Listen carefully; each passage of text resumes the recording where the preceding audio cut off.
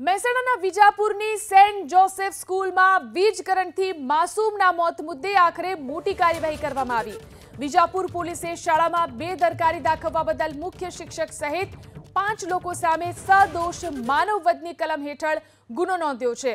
મુખ્ય શિક્ષક અને શાળા સંચાલક Jay Peter, admin Kaushal Patel, security incharge Baloch હસ્તન અને ચિત્ર શિક્ષક રાકેશ વાઘેલા તેમજ ડ્રાઈવર રઝા હુસેન સૈયદ સામે ગુનો નોંધાયો છે. આ પાંચેય જવાબદારોના કારણે ધોરણ નવના વિદ્યાર્થીએ જીવ ગુમાવ્યાનું પોલીસની પ્રાથમિક તપાસમાં કારણ બહાર આવ્યું છે.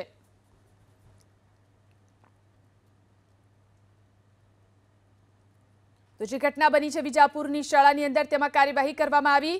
અહીં શાળામાં કરંટ લાગવાને કારણે ધોરણ નવના એક વિદ્યાર્થીનું મોત નીપજ્યું છે. તેની સામે જય પીટર એડમિન કૌશલ પટેલ વિરુદ્ધ એફઆઈઆર નોંધવામાં આવી છે.